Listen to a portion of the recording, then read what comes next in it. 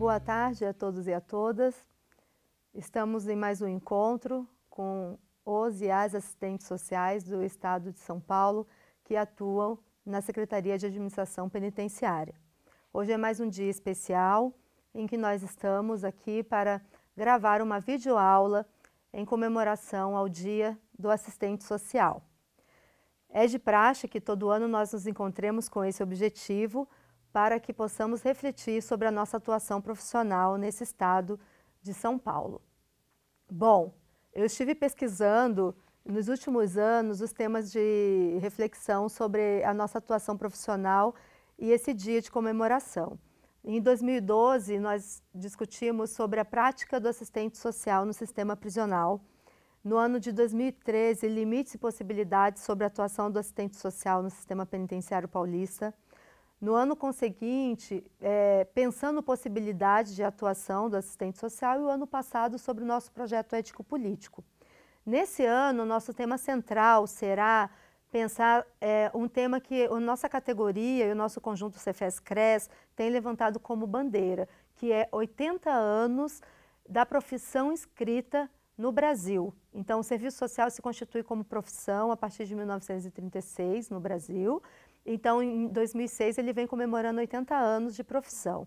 E, então, nós vamos fazer algumas interfaces na tarde de hoje é, e discutir como isso se consolida também dentro do sistema prisional. Para tanto, trouxemos uma palestrante que poderá nos aprofundar é, todas essas questões, como isso tem se pautado desde as suas origens até os desafios atuais. Antes de eu estar apresentando essa palestrante e passar a palavra para a mesma, eu gostaria de trazer o espaço de onde nós estamos falando, que isso é fundamental para que possamos é, justificar por que, que estamos aqui hoje gravando, gravando essa videoaula e não conseguimos fazer a, a, conferência como já temos feito né, nos últimos anos. Bom, é, como eu disse, os últimos quatro encontros que tivemos foram por forma de videoconferência. É uma pena não podermos estarmos juntos caloricamente, podemos fazer os debates, né?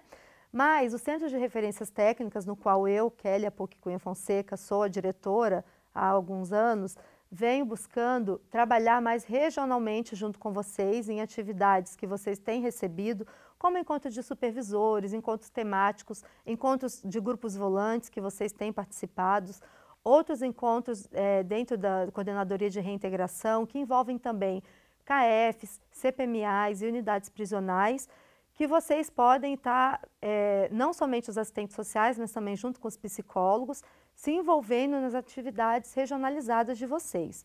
Sabemos de todas as dificuldades de deslocamento que vocês têm para vir a São Paulo para fazer todas as atividades de vocês. E a videoaula, ela vai ser uma oportunidade que vocês terão de poder ter esse material guardado com vocês, seja por um link ou seja por uma gravação em DVD, para que vocês possam ter esse material até mesmo guardado por outros anos, para que vocês possam estar assistindo uma gravação com uma professora é, recomendada, uma professora qualificada, graduada, nessa área tão importante, com um tema tão qualificado para o serviço social na data de hoje. Essas ações que nós temos feito nas regiões, elas são muito importantes para vocês, para que vocês participem. Elas não vão impedir que nós façamos alguns eventos mais é, grandiosos aqui no estado, na cidade de São Paulo. Porém, são de fundamentais importância que vocês participem, de fundamental importância que vocês participem, para que vocês possam trocar as experiências de vocês no espaço de trabalho. Então, os grupos de estudos estão acontecendo em todas as regiões, os temas dos grupos de estudos, né, do trabalho de reintegração, são vocês mesmos que têm discutido, que têm debatido no espaço profissional de vocês. Participem junto com as células de referências técnicas desses grupos de estudos, vão nas reuniões, nos encontros regionais das suas regiões ok? Estamos proporcionando várias outras questões do planejamento e aos poucos estaremos divulgando para vocês, dentro do que for é, possível. As jornadas da cidadania também têm acontecido dentro das unidades prisionais, o, pro, o projeto Preparação para a Liberdade tem sido levado, dentre outras atividades que nós temos levado para vocês, como apoio, né, fora a parte de que vocês sabem também que podem estar nos procurando dentro do Referência Técnica ali em São Paulo, junto com o grupo é, de ações de reintegração social, no qual temos toda uma equipe para atender vocês diariamente dentro da Coordenadoria de Reintegração Social e Cidadania. Portanto, é em nome tanto da Escola de Administração Penitenciária quanto do Grupo de Ações de Reintegração Social e de toda a SAP, que eu agradeço a oportunidade da gente estar é, podendo gravar mais essa possibilidade de, de dividir com vocês essa produção de conhecimento e poder proporcionar nessa data especial, 15 de maio de 2006, em que comemoraremos mais uma vez o Dia do Assistente Social. E para isso nós chamamos uma pessoa qualificada, que a quem eu também tenho muito apreço, que é a professora, doutora Maria Carmelita Yasbeck, professora da Pontifícia Universidade Católica, ao qual o currículo se eu for trazer, eu já vou passar bastante tempo aqui, e é apenas se eu trazendo que ela é, é, uma grande professora e doutora, né, que já tem muitos livros publicados, artigos, que norteia muito o nosso fazer, as nossas orientações e práticas profissionais, no sentido de realmente nos respaldar e contribuir a cada dia conosco. E hoje ela vai poder trazer um debate para nós com esse tema, 80 anos do serviço social, das origens aos desafios atuais.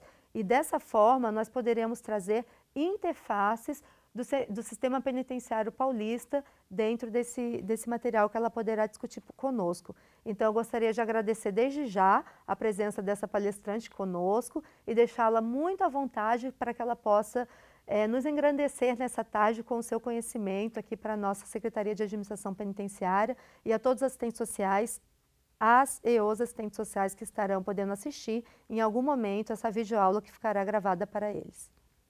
Por favor, professora. Obrigada, Kelly.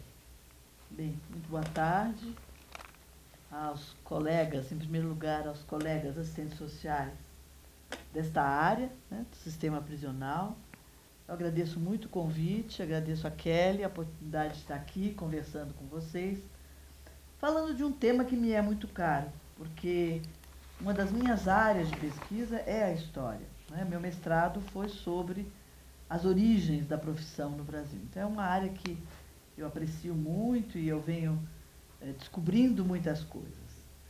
É, na verdade, eu acho que é importante que nós celebremos a história dessa profissão. Né? São 80 anos, sempre numa perspectiva de se colocar a serviço, se colocar na, na perspectiva de atender os interesses da população com a qual se trabalha, apesar das diferentes posições que historicamente fomos assumindo. Né? Nós somos é, o segundo maior colegiado de profissionais de assistentes sociais do mundo. Maior do que o colegiado brasileiro é apenas o colegiado dos assistentes sociais norte-americanos. Então, são muitos assistentes sociais, né? É, todos envolvidos né, nessa história de construção de uma sociedade melhor, de uma sociedade mais justa, mais igualitária.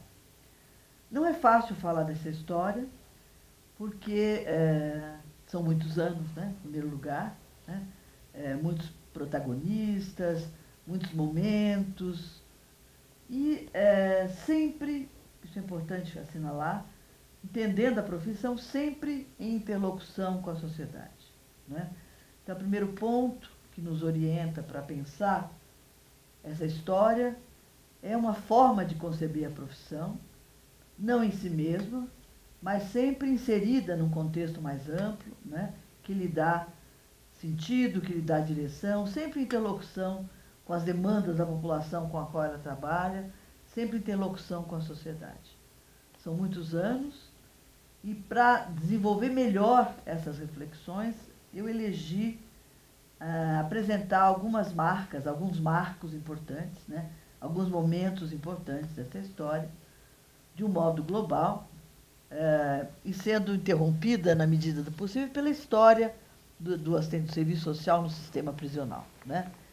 Porque assim como nós temos uma história mais geral na sociedade, nós temos histórias na saúde, histórias na habitação, histórias na assistência social, nós temos percursos e protagonismo histórico em vários campos de atuação, e sempre com essa grande marca que é, é a de uma profissão que busca atender às necessidades, às demandas da população com a qual ela trabalha.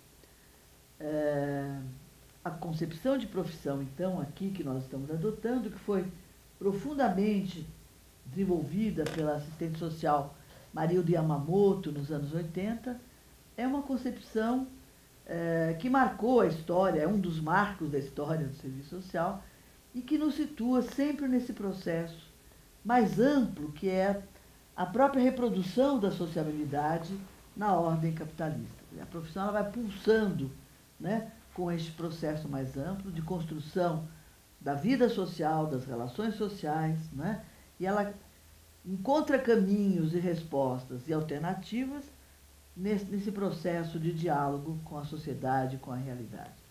Então, eu não tenho uma concepção ahistórica nem abstrata da profissão, mas, ao contrário, tem uma, nós temos uma profissão porque que situa o serviço social sempre nesse diálogo com a sociedade, sempre respondendo a demandas, sempre inserido num processo social, que não é um processo simples, porque é a própria reprodução da ordem capitalista, onde estão presentes interesses, antagônicos das classes sociais que constituem a ordem capitalista.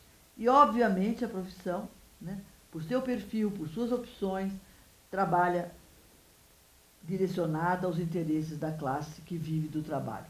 Eu elegi algumas marcas. A primeira marca né, é, diz respeito à gênese da profissão. Como é que surge o serviço social na sociedade brasileira? Né? É, é um percurso histórico, como eu disse, sempre em interlocução com a ordem social, com as relações sociais. E essa primeira marca, ela, é, ela tem a ver com o contexto em que o Brasil vivia nos anos 30, na década de 30, né, quando neste país, com o avanço da sociedade industrial, com o avanço do processo de industrialização, emerge com muita força a chamada, a denominada questão social, que é que vai se constituir né, o campo onde a profissão se move, a matéria-prima da intervenção desta profissão. Nós não podemos esquecer que essa década, os anos 30, se caracteriza exatamente pela industrialização, pela emergência da classe operária brasileira, que reivindica né, alguns direitos, algumas garantias na sua condição de classe trabalhadora, reivindica direitos, por exemplo, concernentes à regularização do seu processo de trabalho, jornada de trabalho, né, garantias, garantias na, na, do seu próprio processo de reprodução. Então, o momento é um momento de grande efervescência. E o que eu estou chamando aqui de questão social que é conhecida, né, é, é uma categoria teórica conhecida pelos trabalhadores da área da assistência social, né, da área do serviço social de um modo geral, a questão social nada mais é do que é, a reprodução da desigualdade social constitutiva da ordem capitalista. Né? A questão social é a disputa pela riqueza socialmente construída, né? é, pelas classes sociais que constituem a sociedade capitalista.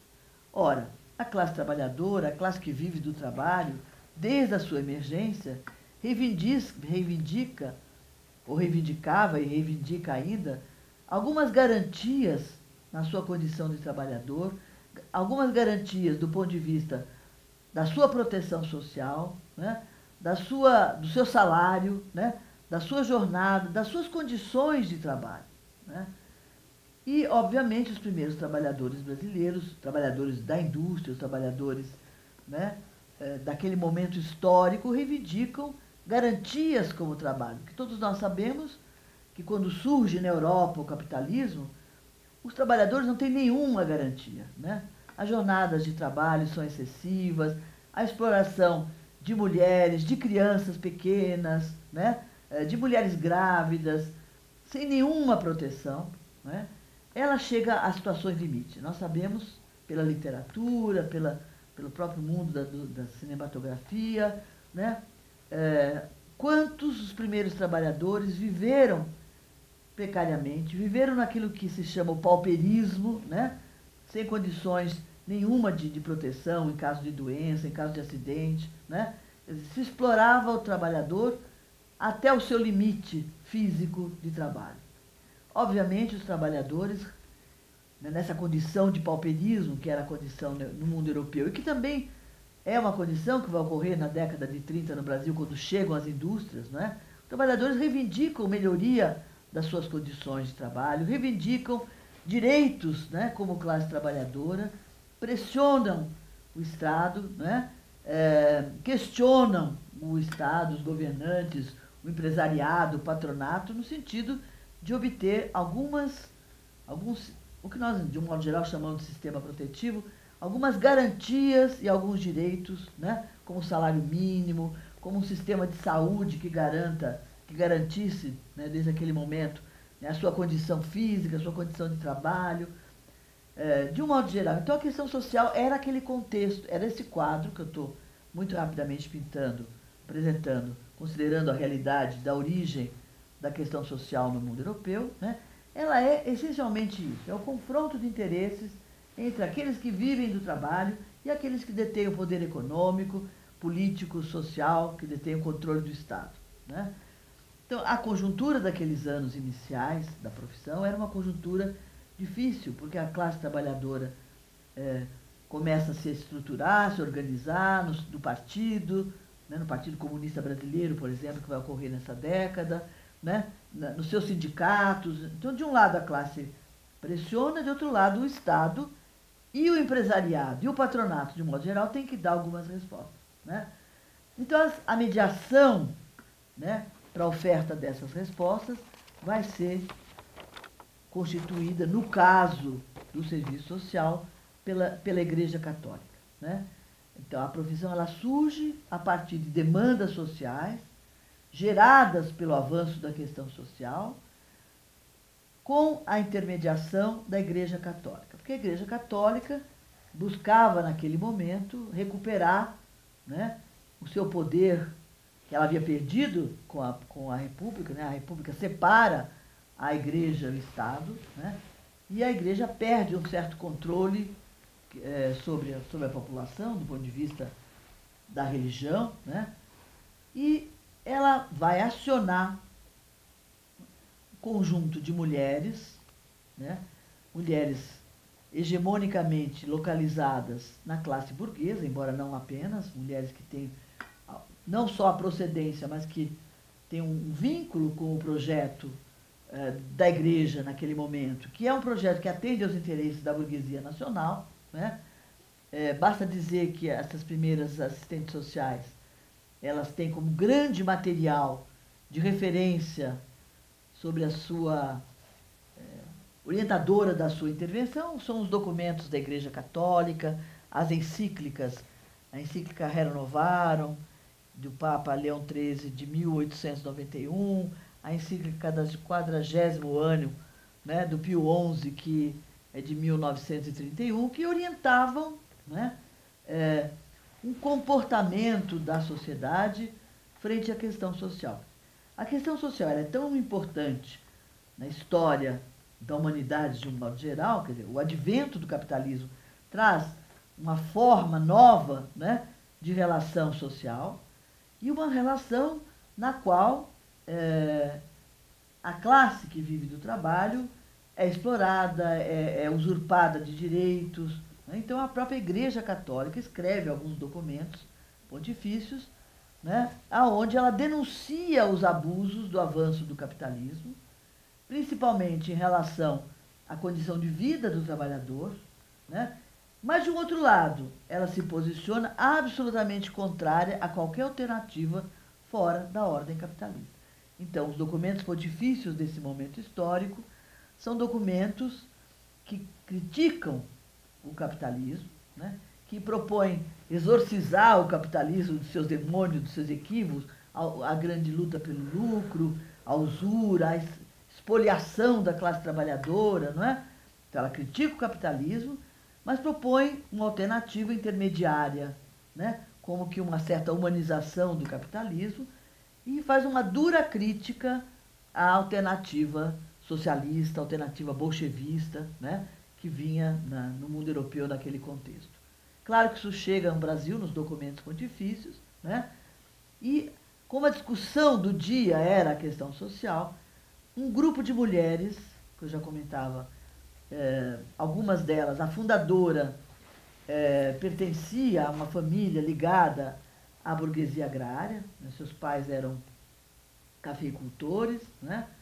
E ela nunca estudou no Brasil, ela estudava, estudou, fez o primário na Suécia, depois ela fez a, a Escola Normal Social de, de Paris, né? É, que era uma escola de ação social. Né? Então, ela, elas, esta mulher, né, com um outro grupo de, de, de, de mulheres né, que haviam estudado no colégio Desoazô, e elas, elas se reúnem para uh, estudar a chamada questão social. E trazem da Bélgica uma assistente social belga, que era especializada na questão social, e que vem dar um curso, o primeiro curso, sobre questão, questão social. E ela traz o material didático desse curso, é o material da igreja. Né? As, os documentos pontifícios, os documentos, de um modo geral, do Vaticano, e da, né, os pronunciamentos e as encíclicas papais. Ela dá esse curso para um grupo, esse grupo de, de jovens, né? eram jovens mulheres, que queriam fazer alguma coisa né? na, na sociedade brasileira, alguma coisa no campo social na sociedade brasileira. Então, este curso é dado no ano de 1932 pela Adèle Delaunay, essa belga, e era um curso sobre o que é a questão social na ótica da, da visão da igreja, na perspectiva da igreja católica. Né? Então elas têm o curso, eu tenho um programa desse curso que eu estudei no meu mestrado, é um curso, um programa muito interessante. Né? E a, quando a Mademoiselle volta para a Bélgica, elas resolvem criar um centro de estudos e de ação social. Porque a perspectiva, principalmente da, da pioneira, da fundadora, né, era que a profissão serviço social deveria se comprometer com a ação social. Interessante que a ação social era eminentemente uma ação política, né? Era uma intervenção no campo social, no caso aí junto aos trabalhadores brasileiros, né? No sentido de prepará-los para assumir a liderança nas lutas sociais e políticas, trabalhadores com essas características, com a perspectiva da Igreja Católica, para assumir a liderança nos próprios movimentos sindicais e de luta dos trabalhadores. Veja, tem aí já um. Né, nós tínhamos o Partido Comunista de um lado, mas tínhamos todo, toda a ação da igreja apoiada pelo Estado para formar profissionais habilitados a lidar com a classe operária, preparar essa classe operária para intervir na questão social sob a luz da igreja, minimizando os impactos negativos do avanço da sociedade capitalista, preparando os trabalhadores para assumirem liderança na, na, no movimento sindical, e elas criam, não só, veja, em 32 elas, elas fundam esse centro, mas elas vão interferindo na criação da Liga Eleitoral Católica, da Liga das Senhoras Católicas, dizer, movimentos que ainda existem hoje. Né? Eh, elas vão interferir na, na perspectiva de dar uma marca católica para o movimento dos trabalhadores. E a visão que elas têm da questão social é a visão da igreja, né? Uma visão moralizadora, individualizada, né? E elas partem para fazer um trabalho com as operárias, principalmente com as mulheres operárias, né? Nas fábricas, né? elas criam quatro centros operários, né? Para reunir mulheres trabalhadoras, para discutir a questão social e, e o seu comportamento comportamento moral, como é que elas vão conciliar né, as tarefas e obrigações domésticas com a vida no mundo do trabalho. Né? Mulheres no mundo do trabalho era uma novidade naquele contexto. Né? Então, ela, elas fundam esses centros operários e criam a primeira escola de serviço social no Brasil em 1936. É, é muito interessante, porque elas vão o material também didático dessa formação, que eu também tive em mãos, tem ainda algumas coisas, é muito interessante. Porque o que, que se ensinava? Filosofia, filosofia católica, é, a doutrina social da igreja, né? com a própria metodologia que acompanhava esse, esse pensamento da igreja, que era uma metodologia que foi assumida pela chamada uh, Ação Católica, que surge nesse momento nos anos 30, né? Uh, com essas características de vinculação profunda à leitura que a igreja faz da realidade brasileira. Então, elas utilizam um método que ainda eu sei, hoje se usa na ação, o que sobrou da ação católica, porque a ação católica também se transforma, né? É, que elas denominavam ver, julgar e agir. O que existe ainda de, de movimento da ação católica, na, por exemplo, na classe operária, na classe trabalhadora, ainda usa esse método ver, julgar e agir. E elas levaram tudo isso para uma profissão, né? com orientações, por exemplo, de puericultura, porque elas iam trabalhar com mulheres que deveriam saber como trabalhar com as crianças, como lidar com os filhos, noções de economia doméstica, noções do desenvolvimento da personalidade da criança, né? noções de direito, tinha uma presença forte do direito né? Na, nessa formação, então elas levaram isso para a construção de uma profissão. Eu tenho aqui, o tempo não vai permitir, é, algumas, alguns textos da própria, da própria época, né? por exemplo, o que, que se queria, né? quais eram as, as disciplinas? Religião, direito constitucional, higiene social, cultura geral, né? É, e esse, esse, essa proposta foi muito bem aceita pelas jovens católicas, mulheres católicas que buscavam ingressar no mundo do trabalho e que não é tão fácil como a gente pode pensar, o que era, nos anos 30, uma mulher resolver trabalhar. Para onde ela podia ir? Três profissões. Ela podia ser educadora, enfermeira ou assistente social, né? que eram profissões femininas, né? ou consentidas para a mulher naquele momento. E elas escolheram esse caminho. Não, não deve ter sido fácil, né? porque elas todas eram muito ousadas, eram mulheres muito interessantes, eu tive a oportunidade de conhecer algumas delas, né? eram verdadeiras lideranças né? É, na vida social, elas viajavam muito pelo Brasil, elas foram criando cursos de serviço social em todo o Brasil. Né? Era um grupo bastante interessante, obviamente, neste contexto, com esta posição, que tem uma, uma marca que vai ser uma marca histórica da profissão, que é a presença e o predomínio do pensamento conservador. O serviço social nasce conservador e antimoderno. É um peso para uma profissão, é um peso, né? Você nasce vinculado à igreja, com toda a carga conservadora do pensamento social da igreja naquele momento, né? a defesa da família. Havia um código na Bélgica chamado Código de Malinas, que assistentes sociais que foram para a Bélgica né, trazem e que é uma apologia da família, da, da ótica da igreja. Né? A família como célula máter da sociedade, o ninho de amor. Bom, muito conservador, demais conservador, era esse pensamento da igreja naquele momento. Então a profissão ela nasce com essa perspectiva conservadora. Ela só vai modificar um pouco essa perspectiva, que não é nem profissional, pelo que eu li aqui, pelo que eu estou dizendo para vocês, encíclica. A influência era doutrinária. A grande matriz teórica que orientava, não é teórica, a grande matriz orientadora da, da prática dessa profissão era o pensamento doutrinário. Né? com todas as marcas conservadoras do que é uma doutrina. Uma doutrina você adere sem grandes questionamentos, não tinha nada de científico, né? E ainda mais uma doutrina que é da igreja, que tem dogmas, você tem que aceitar e ponto. A igreja disse, você tem que aceitar então ponto. Então essa marca é muito forte, né? E eu estou lembrando essa marca do conservadorismo porque ela vai pontuar a nossa história, ela vai se renovando, ela vai se modificando. E atualmente nós somos profundamente marcados ainda por um ideário conservador, apesar de nos colocarmos absolutamente contrário né, a inúmeras dimensões da ordem capitalista. Ao capitalismo, para falar melhor, né, mais claramente. E aí tem coisas que não dá tempo aqui, mas que o centro, por exemplo, esse centro de estudos de ação social, colocava o perfil dessa profissão. Vou só ler isso aqui para vocês, é até engraçado. Em fevereiro de 36 inaugurou a escola. A formação dessa escola era ética, social e técnica. Um folhetinho de divulgação em 1937 diz assim: quais são as qualidades naturais que a carreira de assistente social requer?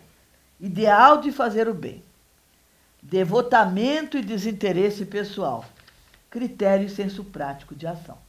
Então, profundamente mesclada né, é, de um ideal doutrinário. Qual é a profissão? O engenheiro não precisa ter o ideal de fazer o bem, né? Nenhuma profissão, de modo geral. Mesmo as mais antigas na sua história. Talvez a medicina, não sei. Né? Então, eles tinham predicados que de, as pessoas eram avaliadas, elas tinham que trazer uma carta de recomendação para ver se tinha perfil ou não tinha perfil. Depois se fazia teste psicológico para ver o quanto a pessoa era equilibrada para desenvolver. Claro, as nossas áreas não são fáceis. Né? Nós estamos aqui diante de uma colega do sistema prisional, que vocês imaginem o que seja trabalhar no sistema prisional. Né? O que é trabalhar com o sofrimento, com a morte, com a droga. Né? Então, essas exigências eram extremamente fortes. Né? E a visão da profissão nesse momento é de adaptar o indivíduo ao meio. Né? Quer dizer, não modificar as pessoas né? e até interferir no meio, como se falava naquele momento, para que as pessoas se adaptassem a esse contexto. Né? Era adaptar, integrar, ajustar. Nenhuma perspectiva de mudar a sociedade. Né? Claro que a escola cresceu, era uma escola feminina. Em 41 ela abre uma turma masculina, né? E, que funcionou só um ano, porque depois voltou a ser de manhã as meninas e de noite. Eu ainda peguei isso, né? já nos anos, final dos anos 60, ainda peguei isso. Separados, meninas e meninos, porque né, era toda. Parecia o colégio de freira, a minha escola. Né? Bom, mas é, eles criam, era um grupo forte, eles criam uma revista em 39, chamada Serviço Social, uma revista. Criam centros operários, que eu falei, onde os trabalhadores, os nossos assistentes sociais, né? E o objetivo desses centros era amparo e educação da família carente, né? E os centros são decorrência da grande preocupação com a família, que era uma característica do pensamento conservador. Aliás, todas as vezes que a gente vê uma enorme preocupação com a família, cuidado que por trás tem, pode ter, não necessariamente, o ideário conservador. Né? É... Bom, naquele momento é criado, em 1940, o Serviço Social da Indústria, e o Estado começa a criar suas primeiras políticas na área social, esses departamentos sociais, né? Departamento de Serviço Social na Secretaria de Justiça. Né? Então, a visão era de que o Estado deveria começar a intervir com trabalho junto a menores, falava-se assim, não criança e adolescente, como hoje nós colocamos. Né? Então, eles vão ampliando, o próprio Estado vai ampliando o mercado de trabalho e, obviamente, o conteúdo doutrinário não dá conta. Né? Você não vai resolver a questão da juventude, da família, etc., com as, com as perspectivas religiosas da igreja. E aí nós vamos buscar uma matriz teórica mais consistente.